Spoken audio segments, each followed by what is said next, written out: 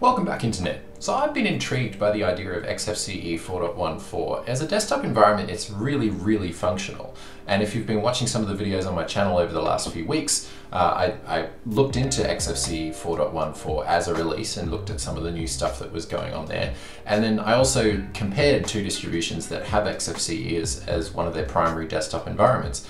Um, but I have this thought, what if XFCE actually looked good? And uh, so a while back, probably back in May or June, uh, this particular distribution, Enso OS, uh, was was uh, they had a new release. Now it's it's very easy to put this in the category of yet another Ubuntu release, and like it kind of is. So that's why I'm not sort of focusing this video specifically on Enso OS, but I'm using it to kind of address a, a really interesting idea, to me anyway and that is what if XFCE actually looked good? Speaking of looking good, I've got some exciting news for this channel. I'm going to be building a website to go along with it, with the help of today's sponsor, Hostinger. Check out the link in the description for up to 91% off yearly web hosting plans on hostinger.com and stay tuned to the end of the video for some more details. Let's get on with the spuds. Okie doke. So here we are running in Enso OS. Now, like I said at the top, I'm using this as a bit of an example. Um, so, XFCE, it's really, really functional. It's got a lot going on, and as each release matures, it seems to have more and more uh, settings to be able to do the things that most people want to do with a graphical user interface. Now, couple this with some wild performance and especially performance from all kinds of hardware, whether it's old, uh, whether it's you know modern hardware, you can eke some amazing performance out of XFCE. Uh, but the question remains, by default, XFCE kind of looks pretty dated, and I feel like it does a disservice to, to how good this desktop environment actually is. And, uh, and Enso OS couples the Gala window manager from one of probably the best designed in terms of looks, uh, Linux distribution projects out there, Elementary OS, it takes the window manager from Elementary OS and couples it with the desktop environment of XFCE. And what you get is something that is very lightweight, very performant, uh, but it actually looks and feels quite nice to use as well. Okay, so here's, and again, I'm using this as a case study, so you know, definitely go check out this distribution if you're curious about this combination. But the reason that I'm using this one is because I think this combo of the Gala Window Manager, something that is smooth, something that has very nice, uh, very nice fixes to common problems like screen tearing and that kind of thing, consistently across the board, I've always gotten wickedly smooth animations from Gala as a window manager as opposed to pretty much any other window manager out there. What Enso OS does is it combines the smoothness of the windows, the animations, the notifications, all that kind of thing with the core desktop environment of XFCE. And what this means is you get function and you get the, uh, the pizzazz. I'm all about the pizzazz, but quite often we end up sacrificing one or the other in the Linux world. Um, so, and I, I, guess it kind of launches into a wider discussion around this idea of, you know, what do we actually want out of our Linux distributions? Why do we use it? For me personally, I love the fact that we can customize it to look however the heck we want. What boggles my mind though is that even though we can make it look however we want to make it look, by default, so many Linux distributions look pretty average out of the box. And especially once you start considering the distributions that ship with XFCE by default, and uh, it really starts to narrow down the pool. So, first of all, let's get some suggestions on the board for, uh, for some distributions that I think look okay with an XFCE desktop environment. Uh, so first of all, we have Voyager uh, Linux. Voyager Linux is a French distribution, I believe, um, that is both Ubuntu based, but they also have a Debian version that's based on Debian 10 Buster. And, uh, and basically, Voyager has been around for a while. I actually got some really old videos uh, on the channel from Voyager back in the day, and it's been ages since I've done a video on them. But they have an XFCE edition that I think looks pretty nice. Um, and if the whole Mac layout thing is not for you, and uh, you're not really into that, you've got sort of the more, slightly more traditional uh, layout and you've got Linux Lite. Uh, Linux Lite is a is quite a well polished, uh, user friendly XFCE based uh, Ubuntu based. Here we go again uh, distribution. But the, the default look and feel of the desktop with Linux Lite is is mm, it's it's a seven out of ten. I don't know. It's it's clean, but I wouldn't say it's profoundly modern by any stretch. Uh, I'll pull up a video here just so you can get a quick idea for what we're dealing with. See if it can deal with this. I'm levels deep here. We've got an oh, we've got a VM running. We've got Flash Player. So as you can see, it's uh, it's just got the menu bar down the bottom here and uh, a fairly standard desktop layout, but at least the icon set and the theming does look relatively flat and modern. Oh, it's me from the future. The other recommendation I had if you wanted like a really nicely modern themed distribution would be uh, Zorin OS Lite. However, we're still waiting for the Zorin OS Lite 15 release, which is based on, yet again, Ubuntu. Guys, let me know, it, are there any other relatively modern looking uh, XFCE desktops that actually look nice? I'm really struggling outside of Ubuntu and Debian based. Um, anyway, shout out to Yon Lopez for this footage um, of Zorin OS Lite 12.4 because it's really hard to find. Anyway, moving on. Now, why I'm using Enso is because, uh, again, those animations are something that I really find lacking in XFCE as a whole. Unless you pair it with something like Compiz, um, usually the animation side of things is, is pretty lame. Uh, on XFCE by default.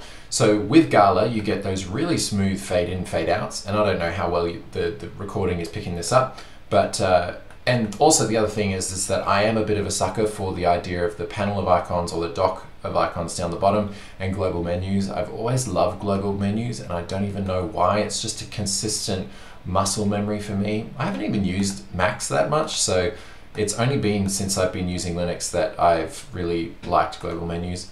So again, this the example that I'm using is very, very personal to me. But the fact remains that I think with the infinite customization options of the Linux desktop, I feel like there should be some better options out there when it comes to how these things look. Uh, which is why, if you have a bit more RAM to spare uh, and maybe a little bit more processing power, it is very hard to overlook uh, the work that the elementary team are doing. Um, now I bring Elementary into the picture because they uh, because Enso OS, this particular OS that we're looking at here, borrows a fair bit from that particular project. And just borrowing from the stuff on their blog really quickly, they've integrated the obviously the App Center, like I said before, from the Elementary project, or rather forked it from App Center. Um, they've got the greeter, so login, logout manager from uh, from Elementary as well, which is schmick. Uh, and they've also got Plank, like I mentioned, and they also borrow the wallpaper changing mechanism as well.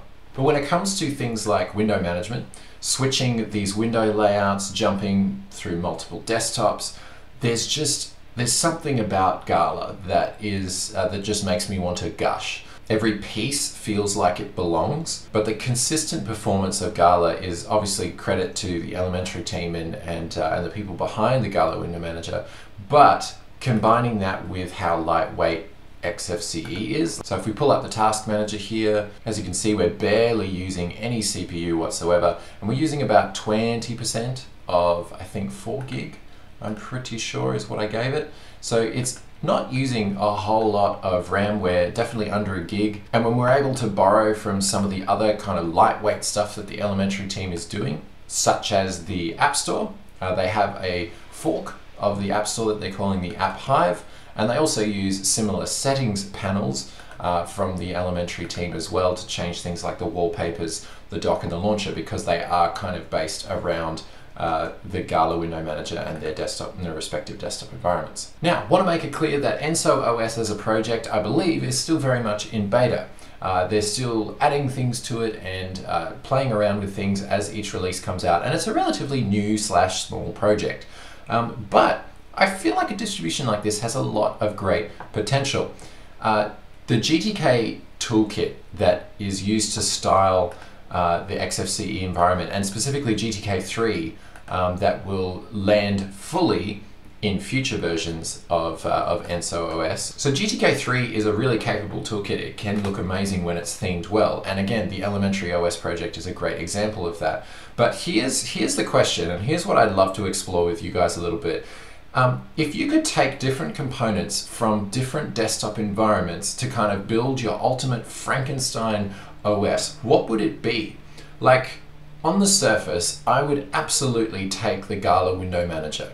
Something about it is so smooth and so clean to me that I that I love it.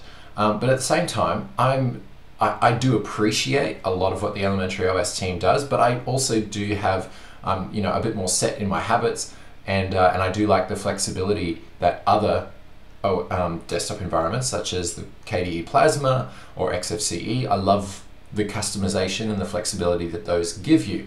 So for me, the idea of coupling Gala Window Manager with let's say, um, I don't know, the, the icon set and the GTK theming of Adwaita from the GNOME side of things with, I guess, a bit of uh, power Power Tools customization from KDE Plasma into one Frankenstein OS. That could be that could be a hot mess, is what it could be. But it also could be kind of awesome if uh, if somebody managed to pull that off. There's nothing absolutely mind blowing about the concept of ENSO OS. It is based on Ubuntu. We've seen it a dozen times before, but it's just their combination of those two things has really piqued my interest into what could a truly good looking functional Linux distribution look like?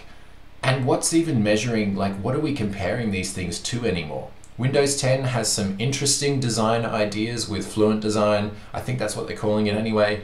Uh, and Mac OS has kind of looked the same for a long time. iOS, uh, yeah, it, it develops very slowly and iteratively. What even is good design anymore? I don't know. I feel like we're just pandering to our own preferences. I know I am.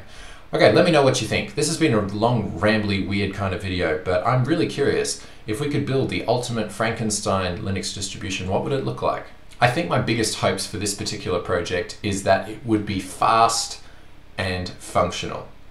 Um, and I think it seems like those are its goals. At, at least when you, we have a look at the website, their, uh, their website is all about trying to have green computing.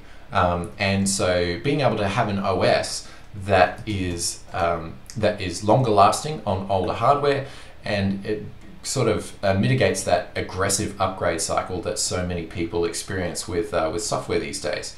So yeah, go and check it out. Faster and more functional. So a quick word from today's sponsor. Today's episode was brought to you by Hostinger. Hostinger is one of the fastest and most affordable web hosting services on the internet, and they've got a range of web hosting services and plans to fit almost any budget and scale. So whether you're looking to expand your online presence, like I will be in the coming months, or whether you're looking for a full-on cloud hosting solution for your business or organization, then Hostinger will be able to help you out. They're focused on bringing the highest quality in web hosting service at the best possible price, and with over 29 million users in 178 countries, they're definitely not going anywhere anytime soon. Their account dashboard is really simple, straightforward, and actually pretty powerful, and you can easily integrate with services like WordPress, and they do also have their own built-in website builder. And if their prices weren't already affordable enough, check out the link in the description for up to 91% off yearly web hosting plans. So go to hostinger.com slash galactic and make sure to use coupon code galactic at checkout to receive this offer. And thank you once again to Hostinger for sponsoring today's episode. Well, thank you all so much for watching. Give the video a thumbs up if you liked it, and uh, consider subscribing, the bell and stuff if you want to see this stuff on a regular basis. And uh, follow me on Twitter if you're not already at InGalactic. And I will see you all in the very next video. Peace out, ladies and gentlemen.